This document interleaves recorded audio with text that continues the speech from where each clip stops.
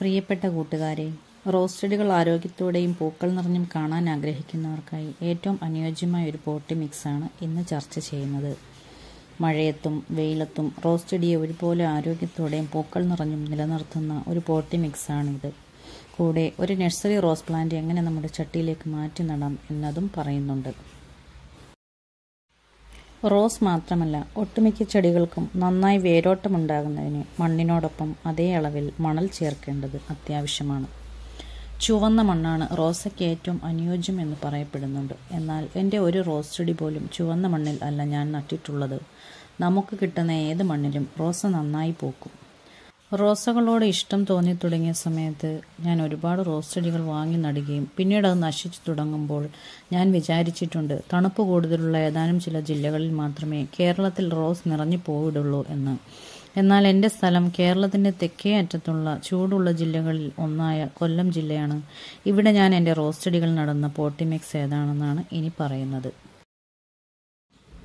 നിങ്ങൾ എടുക്കുന്ന അളവ് പാത്രം ഏതാണെങ്കിലും അതിൽ മൂന്ന് പാത്രം സാധാരണ മണ്ണ് മൂന്ന് പാത്രം മണൽ രണ്ട് പാത്രം ചാണകപ്പൊടി ഒരു പാത്രം എല്ലുപൊടി ഒരു പാത്രം വേപ്പിൻ പിണ്ണാക്ക് എന്നിങ്ങനെ എടുക്കുക. ചൂട് അധികമുള്ള സ്ഥലങ്ങളിലുള്ളവർ ഒരു പാത്രം ചകിരിച്ചോർ കൂടി ഉൾപ്പെടുത്തുന്നത് നല്ലതാണ്. ഇത് ചെടിയുടെ ചുവട്ടിൽ ഈർപ്പം നിലനിർത്താൻ ഒരു പരിധിവരെ സഹായിക്കും. ഇതിലേക്ക് ഒരു സ്പൂൺ ഫംഗിസൈഡ് കൂടി ഇട്ട് മിക്സ് ചെയ്യുന്നത് വളരെ നല്ലതാണ്. ഇങ്ങനെ ഉണ്ടാക്കിയ ഒരു നടിയിൽ മിശ്രിതത്തിൽ ഒരു റോസ് ചെടി നടുന്നത് എങ്ങനെയെന്ന് ഇനി കാണാം. ഇത് നഴ്സറിയിൽ നിന്ന് വാങ്ങിയ ഒരു റോസ് പ്ലാന്റ് ആണ്. ഇത് കൊണ്ടുവന്ന ഉടൻ തന്നെ നടുകയല്ല. ഒരാഴ്ചയ്ക്കുള്ളിൽ കാലയളവിലായി ഇത് വാങ്ങിയിട്ട് അന്യ സംസ്ഥാനത്തിലെ അനുയോജ്യമായ കാലാവസ്ഥയിൽ സന്തോഷത്തോടെ നിന്ന ഈ ചെടി നഴ്സറിയിൽ വന്നിട്ട് അധിക സമയം ആയതല്ല. അതിനാൽ നമ്മുടെ കാലാവസ്ഥയുമായി ഇഴുകിച്ചേരാൻ ഒരാഴ്ച സമയം നാം ഈ ചെടിക്ക് നൽകേണ്ടതാണ്. ചെടിയുടെ വലിപ്പത്തിന് അനുയോജ്യമായ ഒരു ചട്ടിയിൽ അടിയിലായി ഡ്രെയിനേജ് ഹോൾ ഉണ്ടെന്ന് ഉറപ്പുവരുത്തി ചരൽക്കല്ലുകളോ ഓട്ടിൻ കഷ്ണങ്ങളോ ഇടാം. ഇതൊന്നുമില്ലാത്തതിനാൽ ചകിരി ആണ് ഞാൻ ഇടുന്നത്. മുകളിലായി ഉണക്കിലകളും മറ്റും ഇട്ട് കൊടുക്കാം. ശേഷം നടയിൽ മിശ്രിതം പകുതിയോളം നിറച്ചു വയ്ക്കുക റോസ് ചെടിയുടെ റൂട്ട് ബോളിന് ഇളക്കം സംഭവിക്കാത്ത രീതിയിൽ കഴിയുന്നത്ര മണ്ണ് നീക്കം ചെയ്ത് ചെടി മണ്ണിലേക്ക് നട്ടുകൊടുക്കുക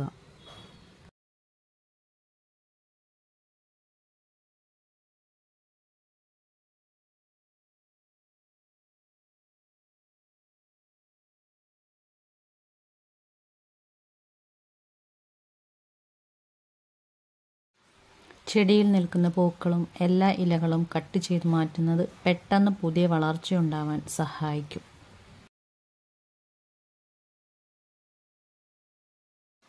ഇനി ചെയ്യേണ്ടത് ഫംഗിസൈഡ് അപ്ലൈ ചെയ്യുക എന്നതാണ്. ഒരു ലിറ്റർ വെള്ളത്തിൽ ഒരു സ്പൂൺ എന്ന കണക്കിൽ സാഫ് മിക്സ് ചെയ്ത് സ്പ്രേ ചെയ്ത് കൊടുക്കാം. ഞാൻ ചെയ്യുന്നത് ചെടി മുഴുവൻ നനയും പോലെ ഈ വെള്ളം ഒഴിച്ചു കൊടുക്കുകയാണ്. വെള്ളം അടിയിലെ ഡ്രെയിനേജിലൂടെ പുറത്തു വരുന്നു എന്ന് ഉറപ്പാക്കുക.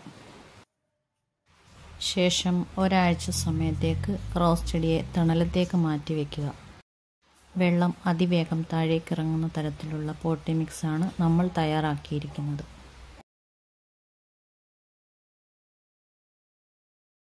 ഒരാഴ്ച കഴിയുമ്പോൾ ഞാൻ ഇതിലേക്ക് എക്സോഡസ് എന്ന പെസ്റ്റിസൈഡ് അടിച്ചു കൊടുക്കുകയാണ് ചെയ്യുന്നത്. ഇതൊരു ബയോ സ്റ്റിമുലന്റ് പെസ്റ്റിസൈഡാണ് നാട്ടിൻപുറങ്ങളിലെ ഫെർട്ടിലൈസർ ഷോപ്പുകളിലൊന്നും തന്നെ എക്സോഡസ് ലഭ്യമല്ല. ഓൺലൈൻ ഷോപ്പിങ്ങിലൂടെ മാത്രമാണ് നമുക്ക് എക്സോഡസ് വാങ്ങാൻ സാധിക്കുന്നത്. ഒന്നര മില്ലി തൊട്ട് രണ്ട് മില്ലി വരെ ഒരു ലിറ്റർ വെള്ളത്തിൽ കലക്കി ചെടികളുടെ മേൽ സ്പ്രേ ചെയ്ത് കൊടുക്കുകയാണ് എക്സോഡസിന്റെ ഉപയോഗക്രമം. എക്സോഡസിന്റെ ഉപയോഗക്രമത്തെക്കുറിച്ചുള്ള വിശദമായ കാര്യങ്ങൾ വരും വീഡിയോകളിൽ പറയാം. എക്സോഡസ് അപ്ലൈ ചെയ്തതിന് ഒരാഴ്ചയ്ക്ക് ശേഷം ഞാൻ എന്റെ റോസ് ചെടികളിൽ എന്ന ഇൻസെക്ടിസൈഡ് അടിച്ചു കൊടുക്കുന്നു. ധാരാളം തരം പെസ്റ്റിസൈഡും ഇൻസെക്ടിസൈഡും വിപണികളിൽ ലഭ്യമാണ്. അഞ്ച് ടു പത്ത് മില്ലി ഒരു ലിറ്റർ വെള്ളത്തിൽ യോജിപ്പിച്ച് ബുവേറിയ എല്ലാ ചെടികൾക്കും സ്പ്രേ ചെയ്ത് കൊടുക്കാവുന്നതാണ്.